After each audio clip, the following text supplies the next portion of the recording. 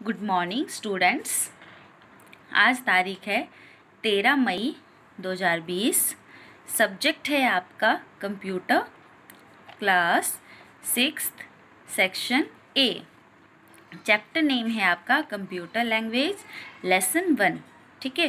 Computer language का आज हम नेक्स्ट जो एक्सरसाइज का नेक्स्ट पार्ट है वो करेंगे ई पार्ट ई पार्ट में है आपका आंसर द फॉलोइंग क्वेश्चन आपसे क्वेश्चन पूछे होंगे और आपने उसका आंसर करना है। सो so, हम करते हैं start next page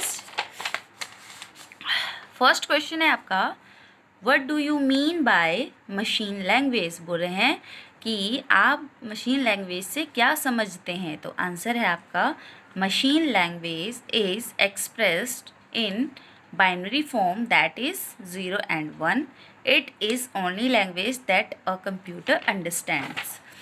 ये बोल रहा है मशीन लैंग्वेज क्या होती है? हमारी बाइनरी फॉर्म में होती है। ज़ीरो और वन में और ओनली कंप्यूटर क्या है? सिर्फ़ बाइनरी लैंग्वेज को ही अंडरस्टैंड करता है। ठीक है?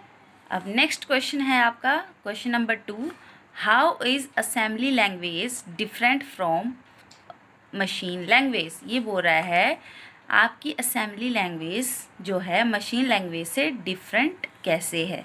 तो आपको पता होना चाहिए assembly language uses mnemonic codes और symbols instead of binary it is machine dependent ठीक है, ये बोल रहा है जो हमारी मशीन लैंग्वेज तो आपको मैंने बता दिया कि ज़ीरो और वन की फॉर्म को ही अंडरस्टैंड करती है बट जो असेंबली लैंग्वेज है, वो ज़ीरो और वन की फॉर्म में नहीं होती है। वो क्या यूज़ करती है? न्यूमैनिक्स कोड्स करती है या सिंबल्स वगैरह यूज़ करती है बाइनरी की जगह।